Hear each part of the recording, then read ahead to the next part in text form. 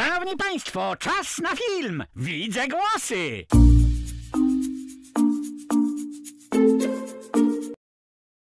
W dubbingu no, trzeba się starać e, mówić różnymi głosami, no bo to jest akurat taki wymóg. Dubbing ma taki wymóg, że jeżeli się chce e, robić różne postaci, no to trzeba szukać różnych barw, różnych głosów. Część ludzi idzie na przyjęcie numer jeden, a wy idziecie na przyjęcie numer dwa. Teraz czyta lektor przyjaciół, a wtedy jeszcze robiliśmy dubbing przez chyba pięć sezonów. Także masę odcinków nagraliśmy. To były piękne, to piękna przygoda, bo spotykaliśmy się za, przy mikrofonie z kolegami e, wtedy. Teraz się robi tak, że przychodzi jedna osoba, siada przed sitkiem, robi swoje i wychodzi. A wtedy jeszcze przed laty, kilku ładnych, ponieważ zależało reżyserowi, wtedy pani Miriam Aleksandrowicz, właśnie na tym, żeby stworzyć jak najżywszy dialog, jak najbardziej zbliżony, żeby on był prawdziwy jak najbardziej, żeby się skrzył, e, bo to przecież były bardzo dowcipne dialogi w tych przyjaciołach. Słuchaj, dasz sobie radę? No, prawdę mówiąc, mam jakiś wybór. Chociaż, no nie, patrząc z drugiej strony, mam aż dwa przyjęcia i podwójny tort. Właściwie to jest y, jedno ciasto piankowe. E, żeby on był taki realistyczny i prawdziwy, to zapraszała nas do, do sitka w, po cztery, po pięć osób, więc to były, myśmy siadali we, dwój- we trójkę, tam gdzie był dialog we trójkę, we czwórkę, to siadaliśmy we czwórkę i rozmawialiśmy ze sobą. Jakaś dziewczyna powiedziała do mnie, pragnę cię, Denis, i wsadziła mi język do gardła. Świetne przyjęcie. Dobra, jedno szybkie pytanie. Wal bez obaw. Ludzie tańczą w twoim pokoju. E, e, chyba nie lubiłeś zbytnio tej szarej lampy, prawda? Joy, ona wsadziła mi do gardła język. Nawet nie słyszę, co mówisz. A zresztą y, wspominam też tak y, e, Flintstonów, e, z którymi też bardzo się zżyliśmy przez lata, robiliśmy dubbing Flintstonów. Ktoś mnie wołał? Raczej nie. Skubidobidu, jestem tu. Cześć, Fred. Jak tam? Cześć, dzidzia. Słynna postać, który mu, Barney, który mówił takim głosem dziwnym i śmiał się tak dziwnie.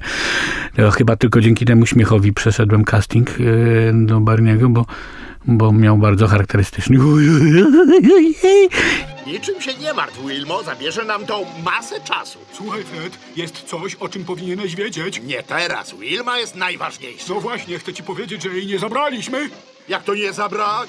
Kiedyś go robił, kreował pan Brusikiewicz w, dubbing, w dubbingu, więc też miałem e, poprzednika z wielką klasą wielkiego aktora dubbingowego. Także to sam wielka przyjemność z panem Bednarskim tworzyć postaci Freda i, i Barniego. Momencik, proszę.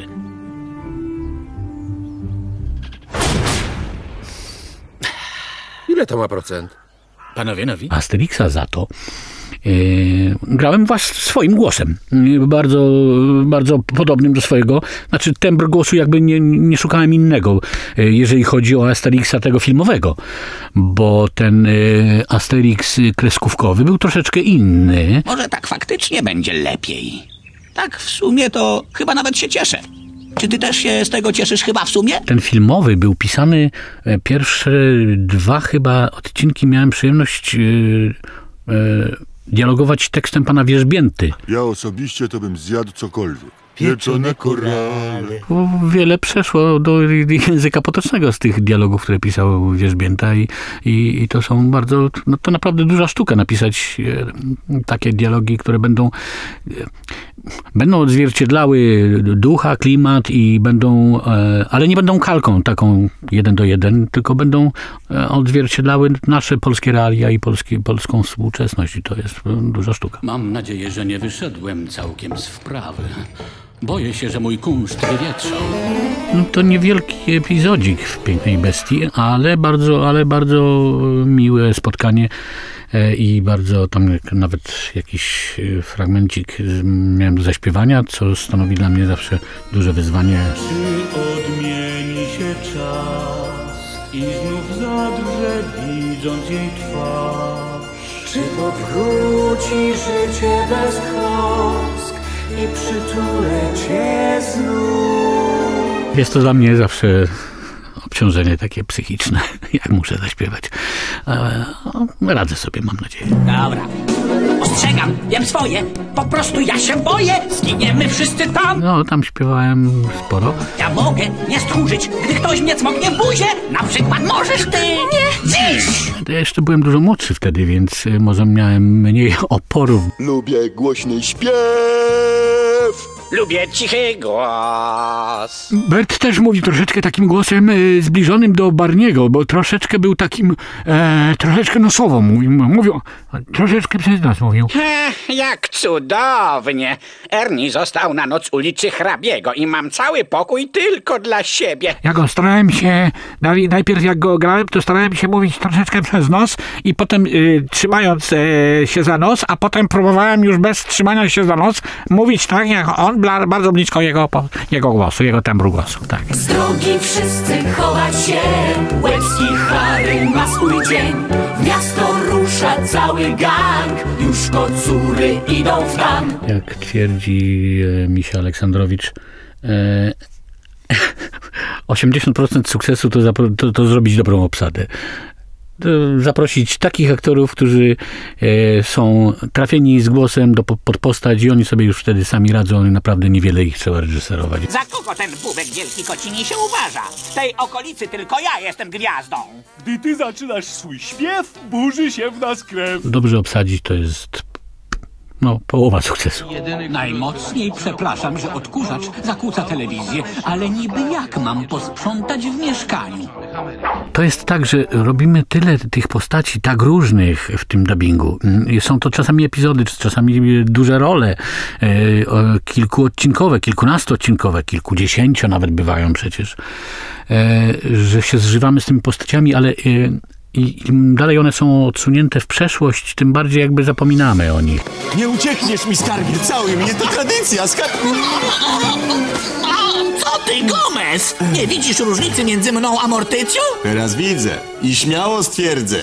Vive la différence! Och, przestań, Gomez! Francuskim mnie nie uwiedziesz. A tak, to pamiętam, bo to z rodziną Adamsów troszeczkę czasu spędziliśmy też. Chyba powinnaś udać się na wakacje. Tak myślisz? Benio ma rację. Każdy potrzebuje czasami zmienić otoczenie. To ci dwaj, co samolotem lat- latali, tak?